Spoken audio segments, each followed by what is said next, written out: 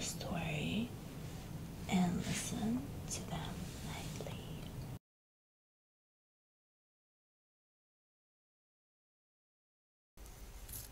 Hi guys, it's me.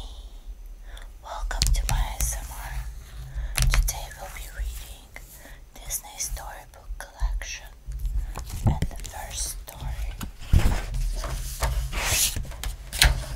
The first story is Snow White and the Seven Dwarfs. A lovely classic.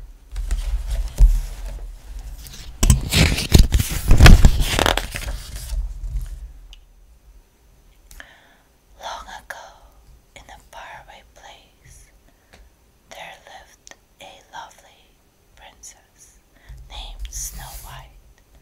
Her hair was black as coal, her lips red as rose, and her skin as white as snow. Snow White's stepmother, the queen, was very cruel. She hated anyone. She hated anyone who was more beautiful than she. The queen treated Snow White like a servant. Snow White never complained. She was obedient and hard-working, but she dreamt of a handsome prince who would take her away to his castle. One day, while drawing water from the well, a handsome stranger did appear, charmed by Snow White's singing. But White was too shy to speak to him inside the castle. The queen asked her magic mirror, Mirror, mirror on the wall, who's the fairest of them all? Every day the mirror had the same reply. You are the fairest, it told her, and the queen was content for another day. But as Snow White grew older, she also grew more beautiful. The queen became very jealous. One day, the magic mirror told the queen that someone else was the fairest in the land. It was the princess Snow rage, the queen called her royal huntsman into the throne room. Take Snow White far into the forest and kill her, she commanded. And as proof of your deed, bring me back her heart and this. She handed the stunned huntsman a beautiful carved box. The hunter looked at the innocent princess. I cannot kill you, he said. You must hide. He put an animal's heart in a box to give to the queen instead. Snow White ran off through the dark woods. At last she came to a cottage. Who lives here? Snow White wondered. Then she heard voices singing in the distance.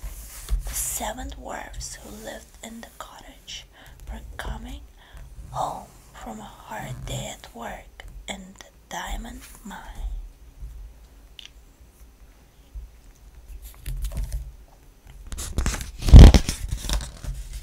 The dwarfs introduced themselves. Their names were Sleepy, Grumpy, Happy, Doc, Dopey, Sneezy, and Bashful.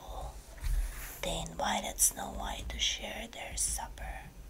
Snow White felt so safe with the dwarfs that she decided to stay with them. But the evil queen soon found out that Snow White was still alive. She would have to take matters into her own wicked hands. She fled to a dungeon beneath the castle. Queen mixed a potion to change her into an old hag. Then she took an apple and dipped it into some poison. one bite of this apple and Snow White will close her eyes forever, she cackled.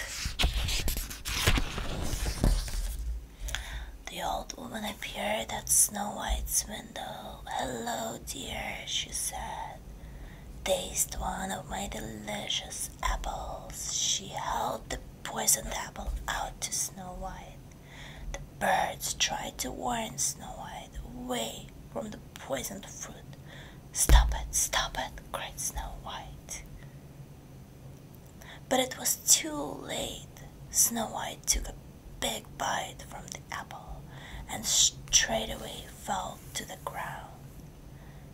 Animals of the forest ran to the dwarfs to warn them that something was very wrong and they needed to come home straightway. The seven dwarfs raced to the cottage and found the old woman trying to creep away as Snow White lying lifeless on the floor. The dwarfs chased the hag into the forest.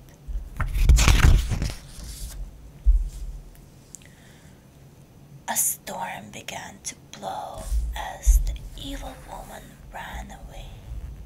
She came to the edge of a steep and rocky cliff and tried to move a huge rock so it would roll down on top of the poor dwarfs and crush them. Look out, cried Grumpy to the others. At that moment, lightning struck. The queen lost her balance and fell to her doom. The sad little dwarfs built a bed of gold and glass for their beloved Snow White. They kept watch over her day and night. One day, a handsome prince rode into the forest and saw Snow White lying on her bed of glass and gold. How beautiful she was! The prince knelt down and kissed Snow White tenderly. His kiss awakened her. Snow White opened her eyes and immediately fell in love with the prince. He took her in his arms, and together they rode off to his kingdom where they lived happily ever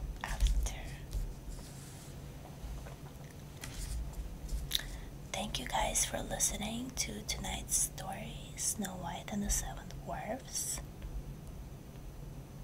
I hope you can subscribe to my channel, like the video, and leave me a comment. And I will see you next time. Kisses.